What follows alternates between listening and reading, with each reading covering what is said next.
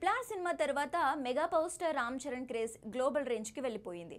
నాటు నాటు సాంగ్కి ఆస్కర్ రావడంతో తారక్ చరణ్ పేర్లు ప్రపంచవ్యాప్తంగా మారుమ్రోగిపోయాయి. స్టీవెన్ స్పిల్బర్గ్ జేమ్స్ క్యామరన్ లాంటి హాలీవుడ్ దిగ్గజ దర్శకులు సైతం వీళ్ళ యాక్టింగ్కు ఫిదా అయిపోయారు. అందుకే వీరిద్దరికీ ఎన్నో అవార్డ్స్ వరించాయి. కానీ రీసెంట్గా ప్రకటించిన అరవై తొమ్మిదవ జాతీయ అవార్డులో మాత్రం చరణ్ ఎన్టీఆర్ కాకుండా అల్లు అర్జున్ అవార్డు సొంతం చేసుకున్నాడు. ఈ విషయంలో ట్రిపుల్ ఆర్ ఫ్యాన్స్ కాస్త హర్ట్ అయ్యారు. ముఖ్యంగా మెగా ఫ్యాన్స్ మగధీర రంగస్థలం తర్వాత ఇప్పుడు ట్రిపుల్ ఆర్. ఇలా ఏకంగా మూడు సార్లు చరణ్కు బెస్ట్ అవార్డు మిస్ అయిందని ఫీల్ అయ్యారు.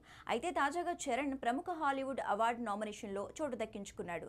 అమెరికాలో నిర్వహించే పాప్ గోల్డెన్ అవార్డ్స్ ఇండియాలోనూ బాలీవుడ్ యాక్టర్స్ అండ్ సినిమాలకు కూడా ఇస్తుంటారు.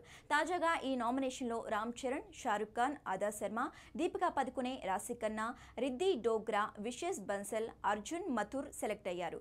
గోల్డెన్ బాలీవుడ్ మూవీ కేటగిరీలో triple R Pathaan rocket boys Kerala story gunman college romance Farzi Asur nominate అయ్యాయి. అలాగే Naatu Naatu song best sound track కేటగిరీలో హాలీవుడ్ సాంగ్స్తో కలిపి ఎంపికైంది.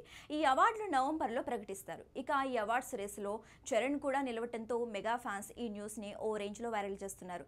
నేషనల్ అవార్డు మిస్ అయినా ఇంటర్నేషనల్ అవార్డు నామినేషన్లో చోటు దక్కించుకోవడంతో మెగా ఫ్యాన్స్ని ఫుల్ ఖుషి చేస్తోంది.